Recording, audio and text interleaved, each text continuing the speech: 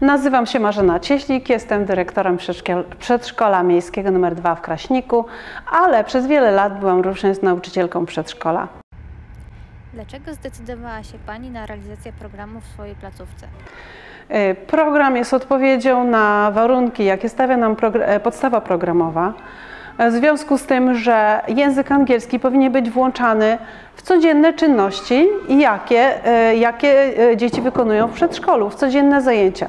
Natomiast ciężko jest e, realizować takie warunki, kiedy nauczyciele nie znają języka angielskiego. Natomiast ten program ma doskonałą na to odpowiedź pozwala nauczycielom, którzy nie znają języka angielskiego, na re- realizację tego pro, programu.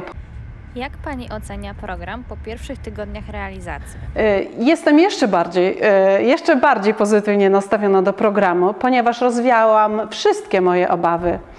Po pierwsze, dzieci pięknie śpiewają, pięknie, e, pięknie powtarzają za lektorem.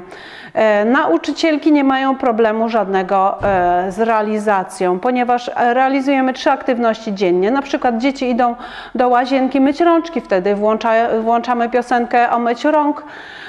Dzieci mają za zadanie słuchać tylko, osłuchiwać się, natomiast słyszę, jak w łazience głośno śpiewają. Także uważam, że efekty są wspaniałe. To dziękuję za udzielone odpowiedzi na pytania. Dziękujemy bardzo. Dziękuję.